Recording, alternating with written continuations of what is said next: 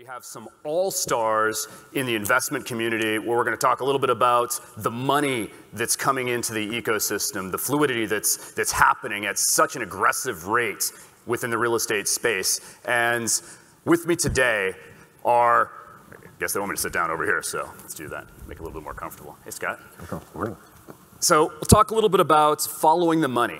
And what we mean by following the money is where venture debt, where private equity, where family funds have all of a sudden found out about one of the oldest industries in the world. When I say an old industry, I mean it goes back forever. Now it's a $250 trillion market globally, which, to put that in context, if you look at the amount of gold in the world, I think the total amount of gold is about $9 trillion that's ever been mined. So it's the biggest industry in the world, but what's interesting about it is that we really haven't had the level of venture capital investment or private equity investment in real estate or real estate technology up until this point, up until the last four to five years. And so the purpose of today's panel is to talk a little bit about the ideas that are being met with this incredible amount of capital. We'll talk a little bit about where the capital is coming from and uh, we'll get into some of the specifics as to what the ideas and visions for the future of real estate investment will look like. And the reason we want to do this, especially from a realtor perspective, is because for the practitioners in the audience, where the money flows tends to be where the technologies are going to be three to five years from now. So, if anything, the panelist today represents a Rosetta Stone for where the future of this industry is going. And I'm really, really excited to introduce some of the panelists here just briefly. I um, want to start off with uh, Scott Smith here, who is the president and general manager of Constellation Software and Real Estate Group, which focuses on a lot of strategic investments within the real estate space, responsible for a lot of very key acquisitions uh, with real estate technology. Before that, Scott was uh, with Microsoft, and uh, you're also a Washington Washingtonite down here, down the road in Seattle. Hometown. Great, thanks, man. Thank thanks you. for being here. Appreciate it.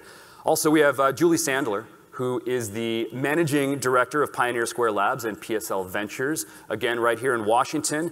And they have an all star team of investors, what we'll hear about in a, in a couple minutes. But prior to that, she was a partner with Madrona Ventures.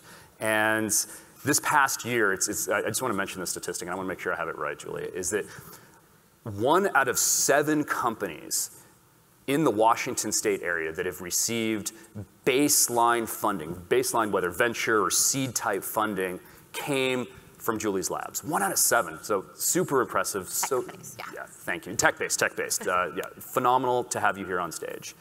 Uh, Mr. Elie Finegold, who is an angel investor, uh, he was the chief innovation officer of CB Richard Ellis. And uh, he also serves as strategic advisor to a number of startup companies and an advisor to, to Metaprop. So thank you, Ellie, for, for being here. And last but uh, definitely not least down there, I think everybody remembers this gentleman from yesterday.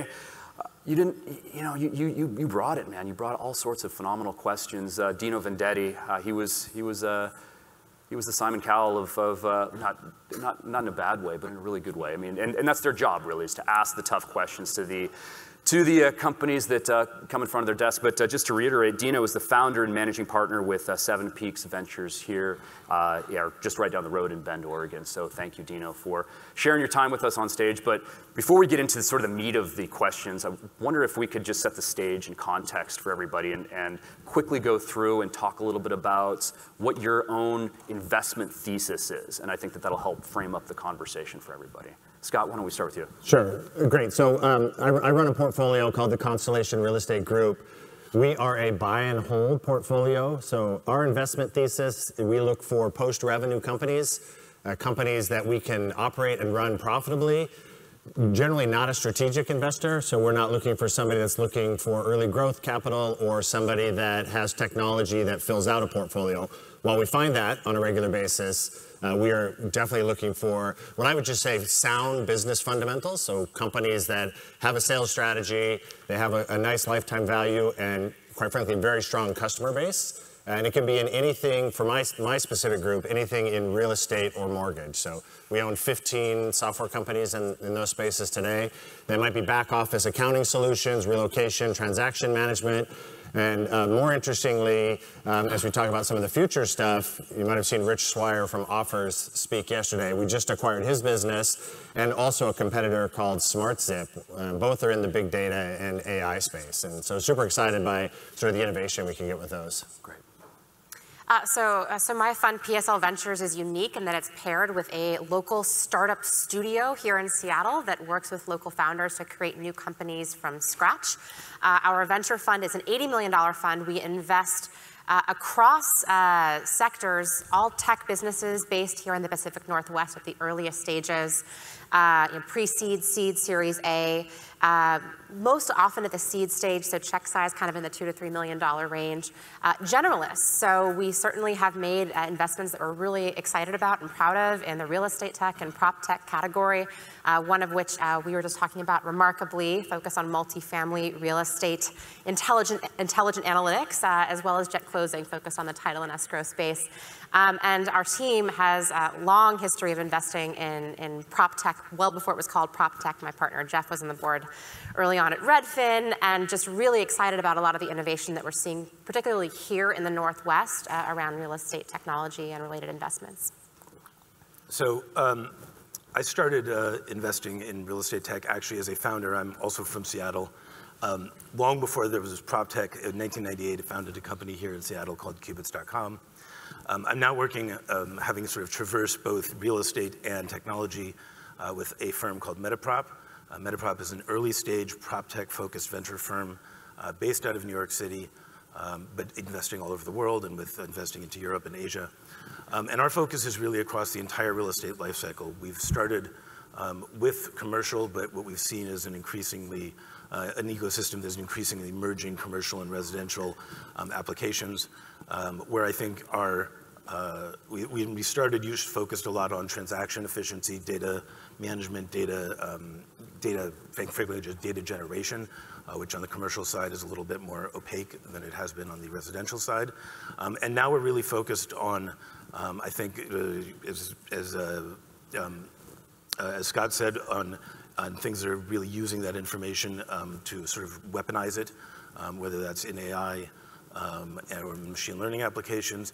And then we're particularly focused on what we call full stack solutions that provide um, you know, end-to-end services um, and increasingly focused on construction technology as well. So. Yeah, so Seven Peaks Ventures, we're an early stage venture fund. Um, so we invest uh, typically seed, Series A, stage deals. Um, and we'll invest across a variety of sectors, uh, but real estate tech is one of them. Um, and uh, within the real estate tech space, we've we funded so far, I think, five or six companies in, in the space. Um, I co-founded CrowdStreet. That's one of our companies that we. Um, and but within there, you know, it's such a huge market, and really big markets that have somehow avoided um, you know, the disruptive uh, attack of entrepreneurs for as long as real estate has. Um, they're really target-rich environments to go invest into. So, um, so we really like that. Um, but within it, I mean, we, you know, one of the a couple themes that we're really interested in is one is the the digitization, automation of workflow and transactions. Um, that's there's just a lot of opportunities, you know, for startups there. Um, and then on the kind of on the um, uh, really the the investment side of real estate, there's you know a lot of opportunity because there's a whole democratization of access that's occurring. Yeah. Um, CrowdStreet was part of that journey, but um, but I think when you can take a market and kind of open it up and and allow investors to participate in it in, in ways they couldn't in the past, that always, you know, um, there's always a lot of demand for that. So, so on, the, on that particular point, I want to stick with you and actually come back to you, Julie, as well on this question. That is that first half of this year, $3 billion has been invested in prop tech. That's, that's phenomenal. And when you look at the personalities here on stage and what they represent, we're talking hundreds and hundreds of millions of dollars that is strategically focused on investing in the property technology industry. Is this, why, why now? What's fundamentally changed in the last like three to five years that it has commanded $3 billion to be invested in the first half of this year alone? Is this, is this a fad? Is this just a function of uh, liquidity in the market? What is, what's, what's the reasoning behind this? I don't think, I don't think it's a fad. It's, um, in fact, if you look at other big markets that have kind of somehow avoided uh, tech startups, you know, the, the healthcare industry, um, education industry, um, um, those of the healthcare industry has had a huge influx of, of, of, venture dollars and startups that have been attacking problems in that space.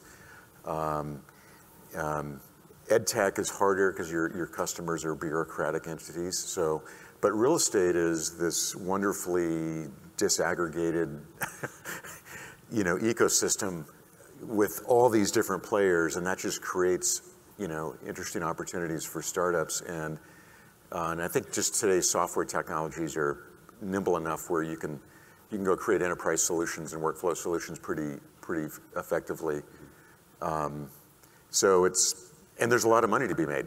There's a you know I think Chris had a great presentation before on a lot of the data, this, the transactional data that's, that exists in this industry, and it's, it's massive. And um, uh, you know, automating and disrupting pieces of that can lead to a lot of wealth creation. Mm -hmm. I'm curious, Julie, from your perspective, because you invest across a broad spectrum of opportunities. Are you seeing that, hey, there's just a lot of cash that's going after just technology in general, or are you seeing this outlier in the real estate in the real estate sector? Yeah, I think I think there's there's two effects at play. One is, uh, to your point, really general. The other, I, I think, is is you know, very relevant to, to the real estate tech category. Generally speaking, I mean, there's just been an unbelievable flow of capital to alternative assets like venture capital and private equity. Limited partners all over the country are just pouring capital like you wouldn't believe into, into our industry. Actually, last year, uh, funds like mine, seed stage funds, um, that entire category saw the creation of 137 new seed funds in just one year with assets under management north of $20 million. So, I mean, LPs can't find enough places to, to pocket this capital, and that, of course, drives a lot of competition, drives higher valuations, and thus higher you know, check sizes that ended up getting distributed to companies across sectors. In real estate, I think there's also just been a really neat evolution that we're seeing around behaviors, consumer behaviors, people who are uh, buying and leasing, uh, commercial behaviors. Uh, I think uh, we all read uh, on the edge of our seats the, the, the WeWork S1 uh, this past week. There's just there's a lot of really interesting dynamics happening. Um, and I think those two effects have led to a lot of what we're seeing over the past few years. So on that point, Elie, is this sustainable? I mean, can, can we sustain as an industry this influx of capital? Is it, is it just chasing fleeting returns? Yeah, well, so I think that I'm going to sort of echo a couple of Julie's points. I think that we've seen a number of things that have led this to be, this, this to be different. Um, first of all is obviously just the massive influx of capital into the tech and venture space. Um, equally important is the consolidation of large parts of the um, real estate sort of stack, if you will, whether that's the big service companies or the big finance companies. Um, they've been consolidating over the last decades. And so you finally have these big enough targets that you can actually sort of shoot at. Um, the third area, I think, is that um, the stack of technologies that has changed the way that we do everything in work has really fundamentally impacted real estate. You know, real estate is by definition um, disaggregated, right? It's everywhere. Every, everywhere you look is real estate. and so mobility and the mobile revolution and the ability to both gather, distribute, and access data at any point in the world is particularly relevant to real estate because of its spread out nature. And finally, and I think this is the, um, the thing that will um, that will, will actually allow this time to be different than the last few times, because I've watched a few cycles of prop tech come and go, um, is that the, um, this cycle has lasted long enough that enough capital has been raised, enough commitment has been made, that I think there's enough capital out there dedicated to or allocated to prop tech to see this generation of companies through a recession should it happen. In the past, what's happened is you've had um, you know, whenever there's a bump in the market, uh, real estate people tend to be very conservative because they're protecting the largest store of value of wealth in the world. It's, it's, you know, that doesn't pay to be risky, it pays to be conservative. And so whenever there's been a recession, people have moved away from technology.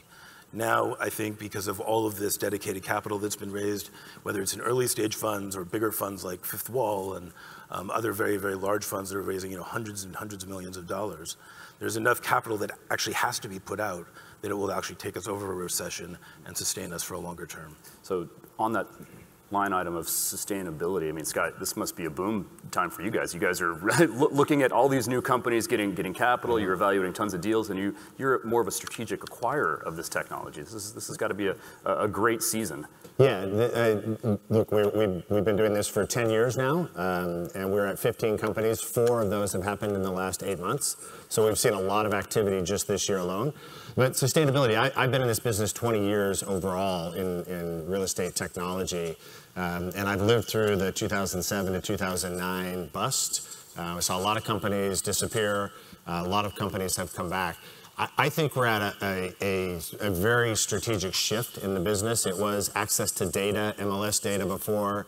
It was a little bit about technology on a desktop with a very you know, sort of non, non-tops down approach to buying. It happens at the real estate agent level.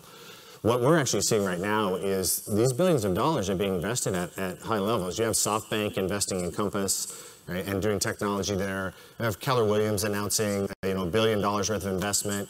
Realogy announcing their investment, hiring guys from Capital One to run Realogy. Companies like Remax buying technology companies. They're all buying, and I think they're moving to a world where technology is an asset and technology of getting closer to the consumer is the asset. Um, I'm excited by it because I actually don't think anybody can go it alone. So I'm very excited. It's, it's actually a bigger ecosystem for everybody in property tech. Uh, I think there's more money coming in, uh, and it, it will just create a much larger pie. That's, that's interesting. And, and I guess just to back up, uh, I'm sure a question that a lot of people have is, well, you know, we talk about these massive numbers, and you, you, all of you are coming from a, from a financial background. Many people in the audience are not coming from a financial background, they're coming from a practitioner background. So just simply put, where is this money coming from? Because you mentioned organizations like SoftBank. You meant, I mean, I think, I think we know where a lot of the capital comes from from a franchise perspective. You don't want to know. The franchise. the answer is you don't want to know. Okay. So, so but, but we, we, we have a lot of money coming in, but, but really, really where, what's generating this all? What's, I mean, is this sovereign wealth funds that are, that are hitting this? Is this, I mean, we're, we're talking, uh, Dino, I don't know if well, you want to talk a little bit about that. The, the, private markets over the past, since, since really the, the, the meltdown in 01, you know, and, and Sarbanes-Oxley and uh, you know, a lot of those regulations that got passed, what they did is they made it very difficult for companies to go public back then. But, but what it also did is it, it inspired like bigger funds to get created. The size of the private equity universe just exploded. And so it, it, it was way more logical for a lot, of, a lot of private companies to stay private and to stay private much longer.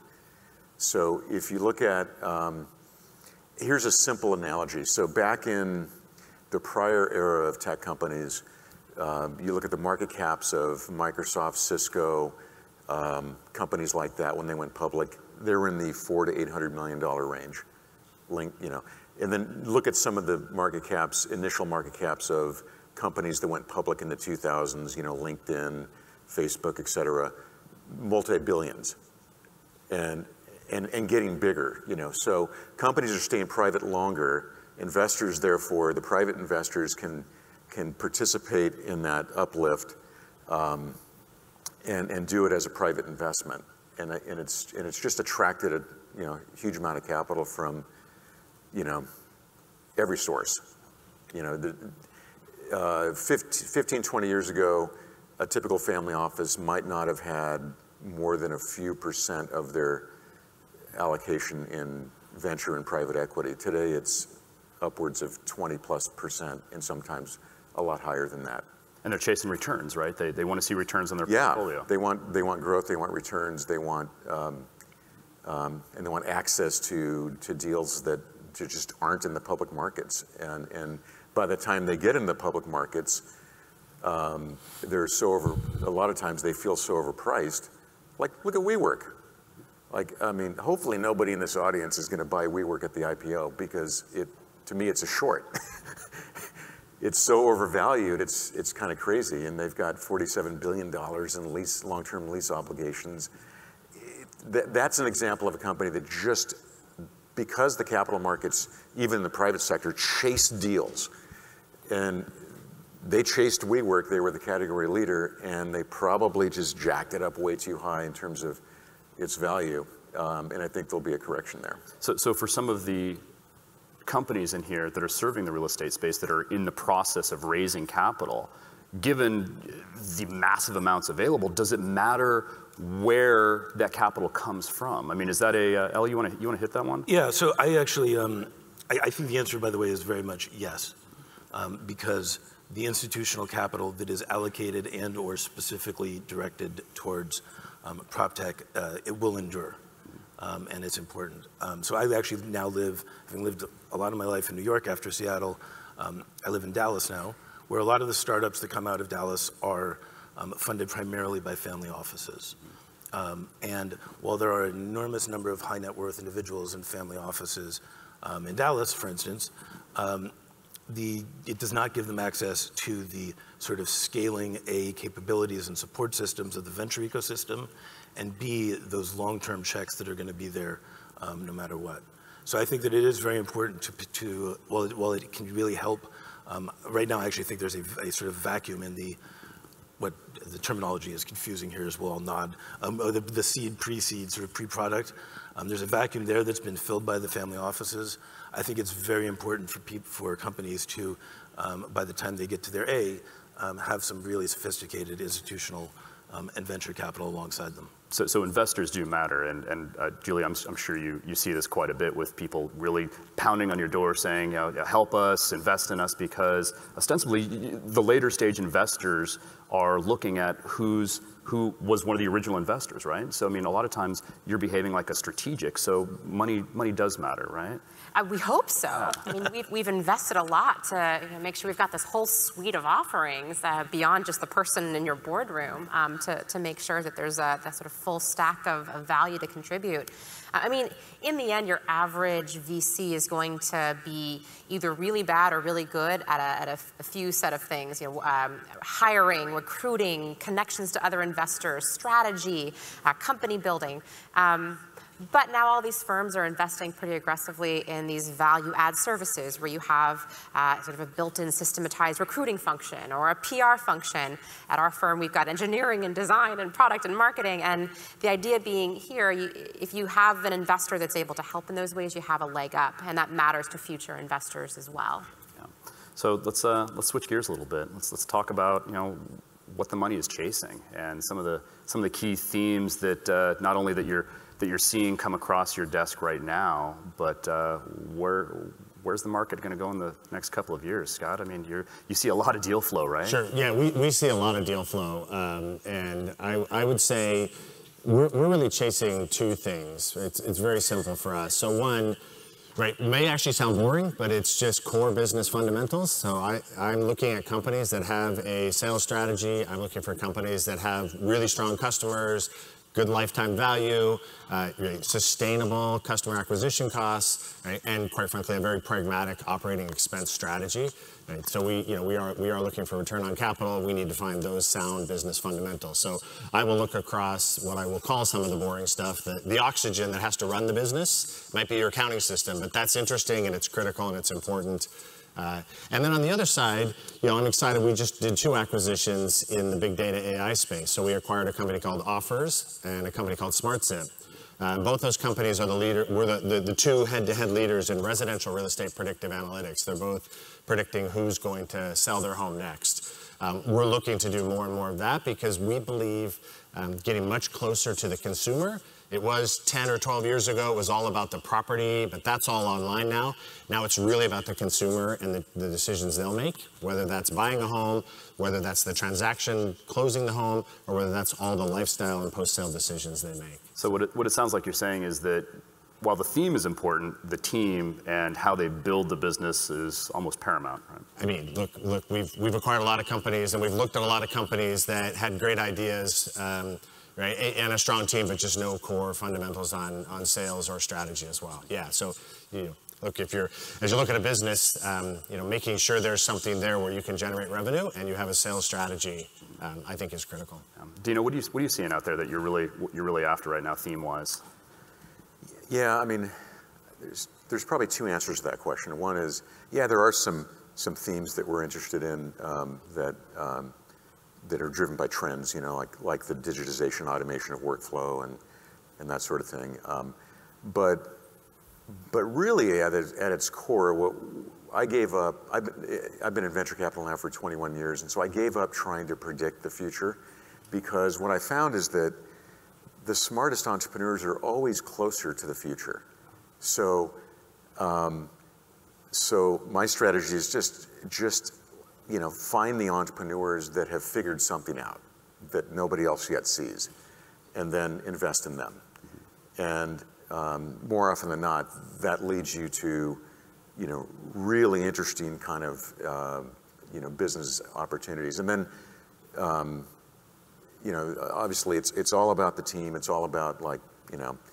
Um, what kinds of capabilities and they can pull together um, can they figure out a really um, uh, clear go-to-market approach and strategy that just allows them to scale? So um, there's really a, a, just a hyper uh, prioritization in the industry on, on, within venture capital on you know, finding companies that found their way to scale um, uh, in as low a friction manner as possible.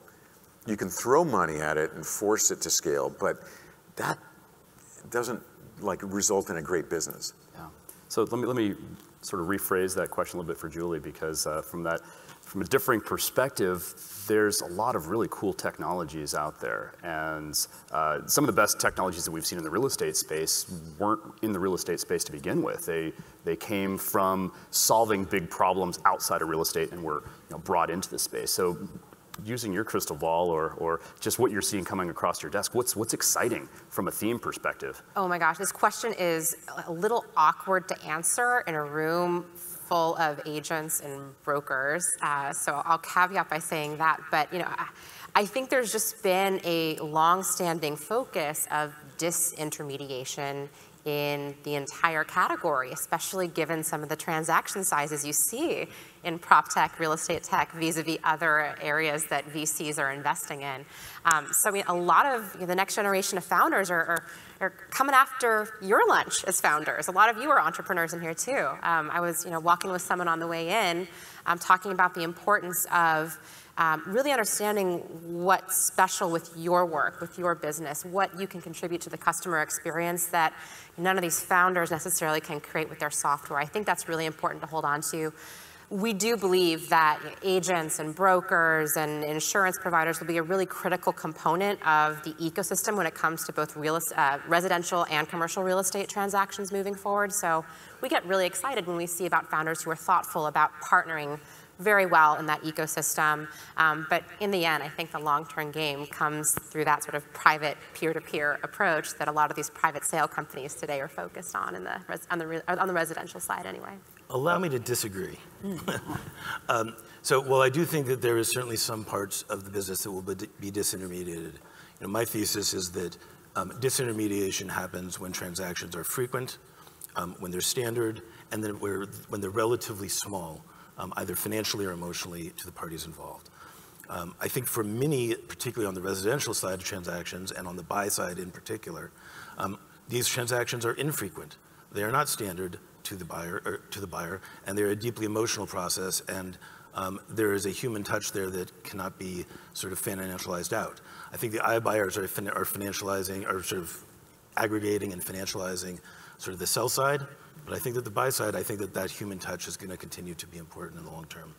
Um, and I say that as somebody who's tried for years to disintermediate parts of this business. Um, but there's some parts that I think the, the human touch is, is really important it's tough. And, and as was mentioned in you know, the very first session yesterday, this is a highly, highly fragmented market. And so there's a lot of problems that need to be solved and a lot of ideas that probably come across all of your desks every day. And you've got it, you've got at the end of the day sort of thumbs up or thumbs down. So let me, let me change that question around that's, and that is what gets an immediate no from you? Like what types of ideas, nope, next. Elie? A small point solution inside of a large transaction, inside of a, sorry, of a large process. Um, we've seen a lot of those things um, get funded over the years. Um, now, people like Scott are rolling them up, which is where I think they belong. Um, so I think it's going to be difficult for people to find um, sort of I'm fixing this one little this one little problem. Um, it's got to sit in the context of a larger nest, nested problem. Dino, what gets an immediate no from you? Oh, just, I mean, small market opportunities, narrow points of differentiation, uh, the wrong team DNA. Um, you know, there's so many. I mean, you know, we, you know, for most venture funds, you know, you probably see 500 or more deals a year, and you might invest in four or five. So you say no, like really often, um, but um, so you, so we're looking for just those the setup, the setup of you know market opportunity where there's it's not so crowded where the startup has some maneuvering room while they're getting going uh, to figure it out. Um, the setup of having you know the right kind of experienced founding team that has their head screwed on straight, that has the right strategy, and they want to build something of lasting value, not just a flip. Um, you know, just the setup is kind of how I kind of talk about it. Um, and, and it's like when you get enough of those elements in place, then it's just, you start, you wake up every day and you're like, wow, I'm more, every day I seem to be more interested in that deal. And, and then you, that ends up being a company that you end up funding. So persistence matters and thinking big matters, right? And Scott, Julie, I want to leave you with the last, last two words here because I think that uh, this is really important for the future of the space. And that is, you know, if, if persistence matters and the idea matters and you're saying no to, I don't know, how many, uh, how many deals you have to say no to before you say yes, right? And uh, these founders, what's the best way for these founders to, to get your attention, to get you off the seat to write a check for them? What is, what's, what's the way to do that? It'll be, I think, a nice comparison because we're investing at the very, very beginning of these stories, and, and Scott at the at, at, the end, so to speak.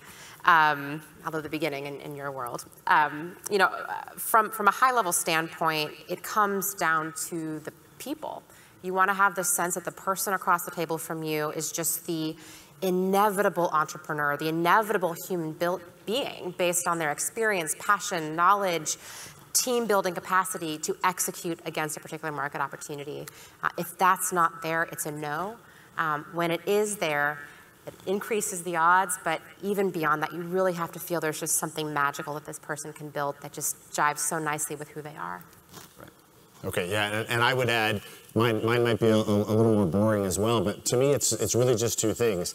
Is there a business model there? Is there revenue? Right? Can you prove there's revenue? So that what will give me a no, is, or what I will give a no to is somebody who says, if you buy us, we will be successful. That's not interesting. Right? Show, show me that you've got a business and a viable model, and then I want to talk to the customers.